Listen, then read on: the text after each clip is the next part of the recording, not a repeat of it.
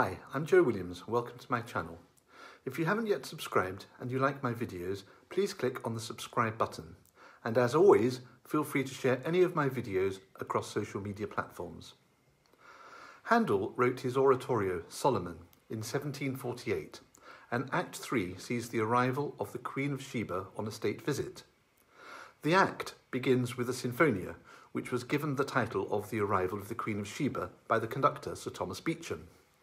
This wonderful music has been used many times as a processional piece, especially at weddings, and even featured in the 2012 London Olympic Games as Daniel Craig, playing James Bond, met Queen Elizabeth at Buckingham Palace.